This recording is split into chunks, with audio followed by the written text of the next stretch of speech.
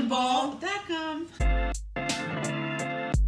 This is like a dessert. Yeah. I'm a food blogger. When I started my food blog, it was after losing a bunch of weight. I want to know how'd you lose the weight? What are you doing to work out? She is such an inspiration to me. Tips on how to stay motivated. If it's important to you, you make time for it. I don't even debate like, oh, is exercise important to me? It is. How smart for your workout. I think it's time to get to the kitchen. We're gonna make a kick-ass smoothie. Oh yeah. Lemon There's bowl style. ingredient. The kitchen. All right. Okay, so we are in the kitchen now. And so the first thing I want to ask you is because last month I identified with my year of simple that eating is actually eating healthy is not actually hard for me. You're really good at it. Well, Your dinners every night, fancy and healthy. Um, no, you are the best. Can I just make a side note that we went to an event one time together, and on the way home, we stopped Oh to get God, Taco Bell, which is my favorite. My first time. She was like, "What's a Doritos Locos taco?" And I was like, For my first time Taco Bell though, was not as bad as I thought it was gonna be. "Oh, It was pretty tasty. rave review." Yeah, it was I thought you were gonna be like, "That was actually No, I mean, disgusting." full of chemicals, but it was tasty. I'm just gonna kill fair, you, but it was tasty. fair. Okay. So snacking for me is kind of the hardest thing. Yeah, what do you snack on? Midday. What are you eating in this place? I don't know because I have such a mix of like my husband eats paleo, Right. so I have such healthy food, and then I have kid food. So it'll be like pretzels, or I drink coffee a lot, but then it'll be like popcorn. Right. So what are some really great healthy Okay. snacks? So whenever I'm snacking, I really try to keep it low carb, um, high protein, because protein and fats are satisfying, and overall they're less calories if I was eating like the same amount in like a cup of pretzels. So one big snack I like to do is I'll take a slice of either ham or turkey and I put some hummus in it and I Oh. roll it up Yes. and I eat that. It's so good and it's super filling and, And is satisfying. this homemade hummus? Uh, sometimes or it's Sabra. I mean, it just depends. My kids eat queen so. I do make a lot. I should make more soon.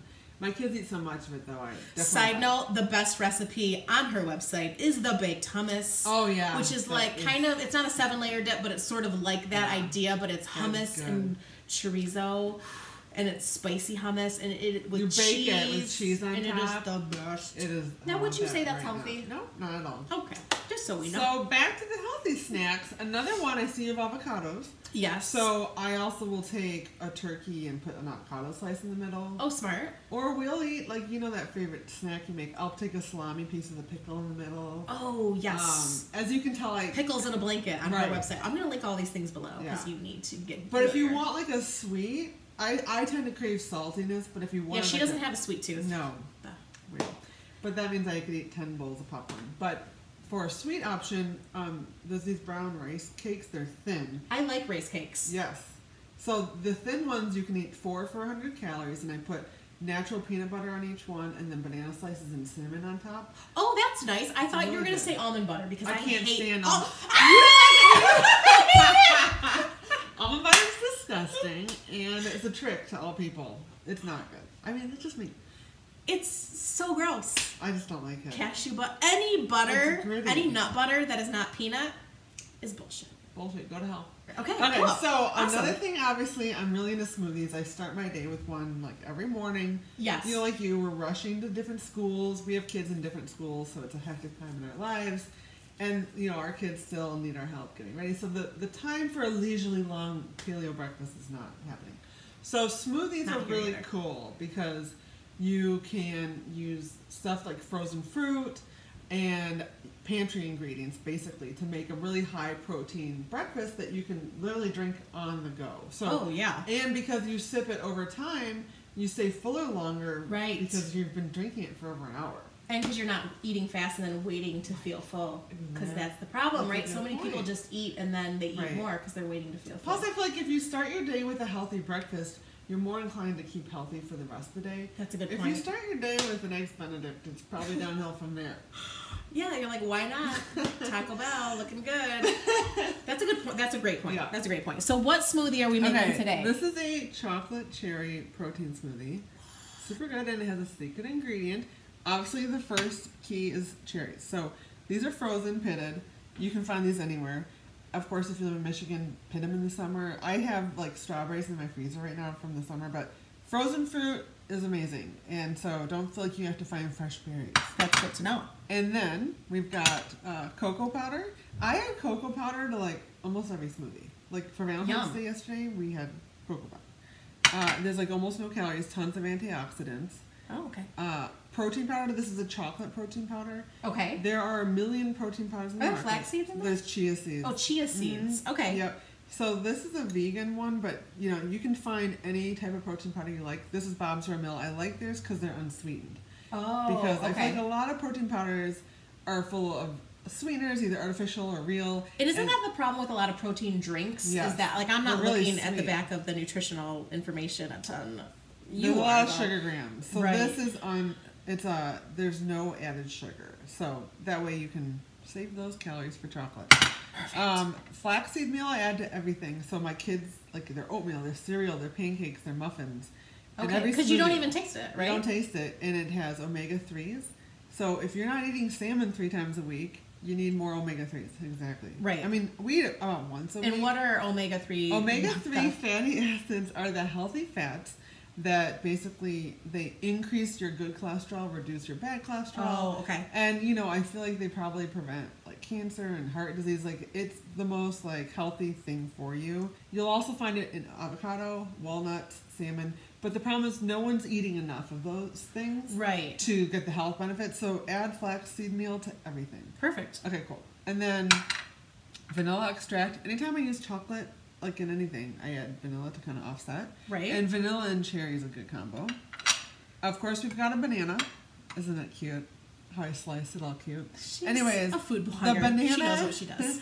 the banana is how I sweeten my smoothies. So I don't add honey or maple syrup to smoothies, or use sweetened protein powder or sweetened yogurt. Also, the re- I like a banana because it's got fiber and vitamins. So you're getting other benefits beyond the sweetness. Okay. And also, you could have really ripe ones and freeze them in chunks and Right. use those for smoothies. So, Oh, okay. cool.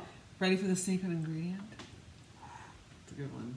Cottage cheese. What? So that's a big reason this smoothie has 26 grams of protein per serving. So cottage cheese might sound weird. Are you freaked out a little?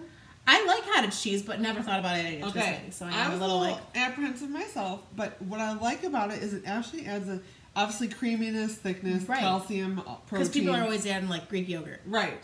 But the cottage cheese has a little bit of saltiness, and that Oh. really balances well. Salty sweet. Yes. Okay, let's make it. Let's do it. Okay. She's never used a NutriBullet before. Never in my life. Don't even know Today's the day. I don't know You how just I started. you just line it up there. And... Oh, this is this is like a smoothie for two. This is Yeah. like or three. Look at your cute little heart-shaped straws. All right, girl. All right, truth time. Mmm, Oh, that's good. that's good. That is good. It's chocolatey. And cherry. Mm-hmm. And I forgot that there was cottage cheese in here until just Yeah, you hardly taste it. no. This is really good. Yeah, it wasn't too hard.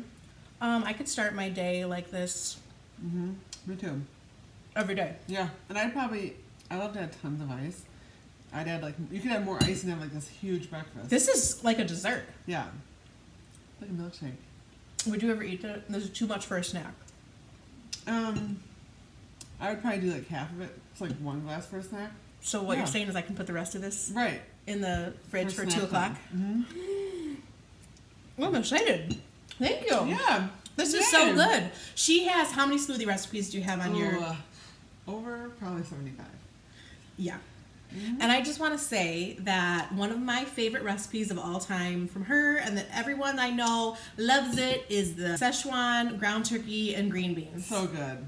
It is so good Yeah. and so easy, and you can put it over rice or cauliflower rice, or you can do whatever you want. It's so yeah, good. that is a good one. Thank you. What's your most popular recipe? My slow cooker chicken curry, which you can also make in an instant pot, which is all the rage right now. Mm. That's a really good one for that.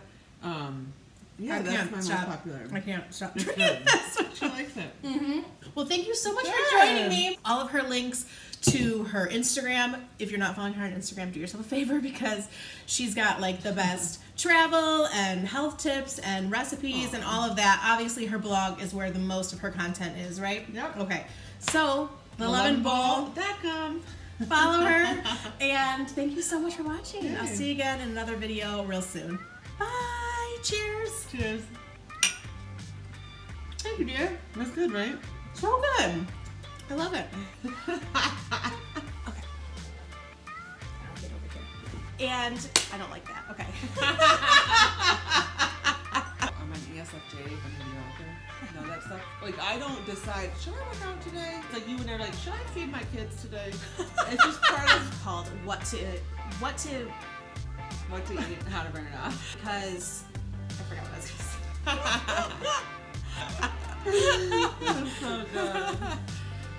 It's like anything. the- Body emotion stays in It's, motion. I was just gonna say that, but was embarrassed to. But it's Because it's from like a commercial Yeah. for like pills or something. it's like so true. But it is true. I don't Okay. even know what my other tip I'm like, where was. should I? Oh, I got it. I got it. exactly. So we're gonna cut this out, Katie. Pee in my pants as I talk. There's a stand on the couch. Should we leave that in the video? I'm Vicki Gunvalson. I know you don't watch Housewives, so that means nothing to you. Does she pee in a lot? She laughed so hard in Mexico once that she left a spot on the bed. Oh, that is. they zoomed in on. I don't know what my last tip is. Again, I'm I'm no I'm not professional here. Uh, you pretty much you kind of are. If there's a tear down from being like a doctor, professional nutritionist, you're like right there.